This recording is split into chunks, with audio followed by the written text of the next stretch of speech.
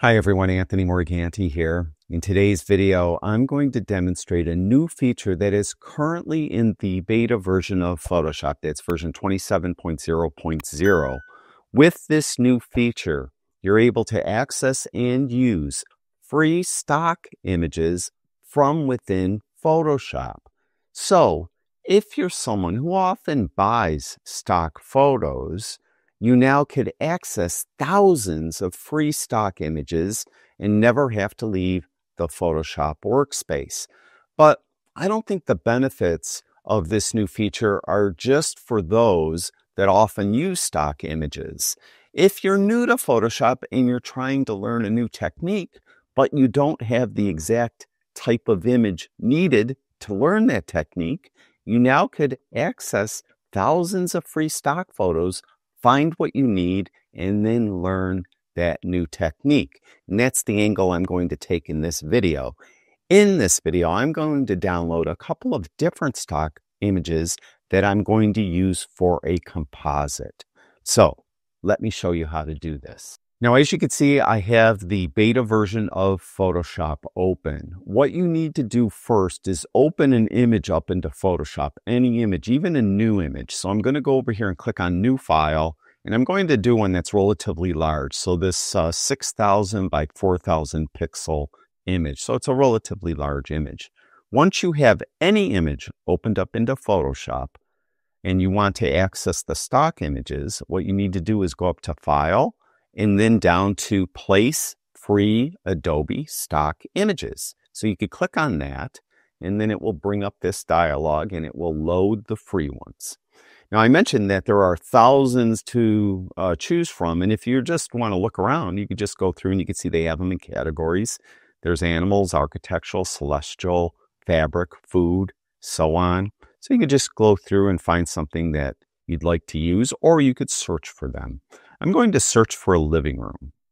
So we'll do living room and I'll just tap enter and then it will give me probably thousands of different living room images. Yes, there's 5,223 to choose from. And again, these are all free to use. If by chance you happen to have an Adobe stock subscription, you can start your search here and see the free ones and then access all of them, even the ones that you would have to use credits for by clicking this link here. But you, again, you do not need an Adobe stock subscription in order to do this. So I'm going to choose, I think, this living room right here. So we'll click on that and I'll click add. What it will do is it will drop it on the image. Now, if it's not the right size as this one is, it will automatically be in transform mode so I could resize it because obviously this uh, specific stock image is of a lower resolution than my 6000 by 4000 pixel base image. So just resize it. So we'll come up here and grab the handles and pull it out. Now, this one happens to be in the three to two ratio, so I'm good. Uh, if it wasn't, there might be some I'd lose on the sides, uh, but that's just something that you'd have to deal with. So we'll click the little check mark here. All right, so we accepted this transformation.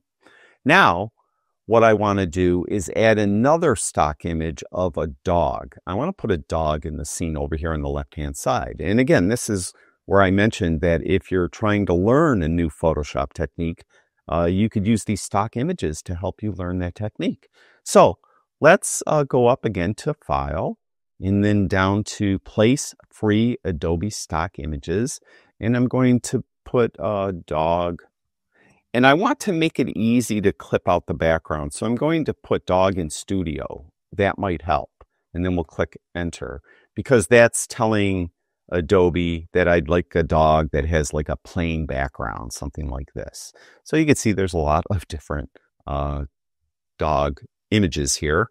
And just as a matter of fact, there's 1,116. So uh, take your choice. I'll just pick this one right here. And then we'll click add and it's going to drop this one on the um, on top of the other two layers. The layers panel is over here. Let me kind of resize everything over here.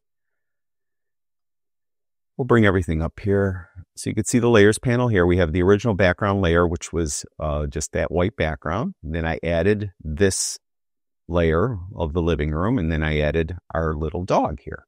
Now I need to resize it so that it properly is where I want it to be. And I want it to be maybe right here, like that.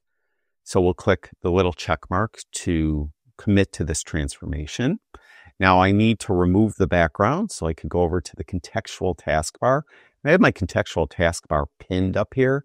What you could do is just take this taskbar, grab it on the left-hand side, put it where you want, then click these three dots and you can pin it. I don't like it bouncing around. I'd rather have it pinned. If you don't have a contextual taskbar, you could go up to Window, then come down here and make sure that it has a little check mark next to it.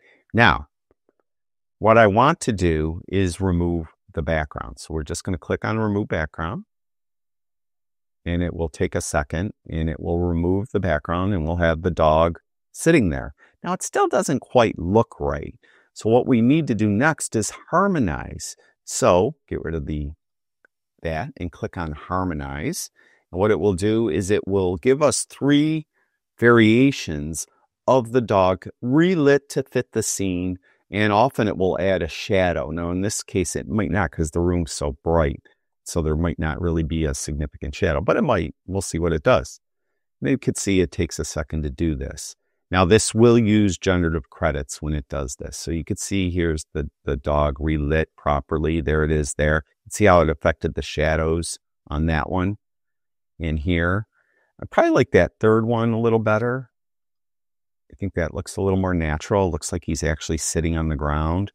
And if you know you're not sure, just click it through. You also, if you don't like any of the renditions that it gave you, you could generate uh, three more uh, renditions by clicking on the generate button again. But I kind of like what it did right there. So that looks pretty good. And we'll just close that down. Now he looks just a little dark, doesn't he? So I want to brighten him up and him up only. So I'm going to use a specific adjustment and I'm going to use an exposure adjustment. You can see I have it here. And by the way, I'm in the photography workspace, which is the workspace I prefer to be in when I'm working on images. To get to the photography workspace, you would go up to Window, Workspace, Photography. That way your workspace will look like mine.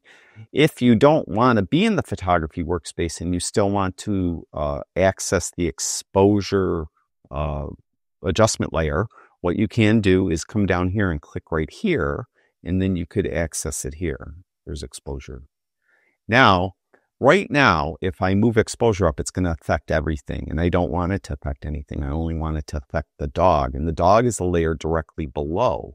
So all I need to do is clip it to that layer by clicking this little icon right here. Now, you'll see it only affects the dog. So we'll just bring it up just a little bit. And I think that looks more natural. And there is our composite. You could see how we could easily use these Adobe stock photos uh, to download them for free and just try out different techniques that we've seen other photographers do.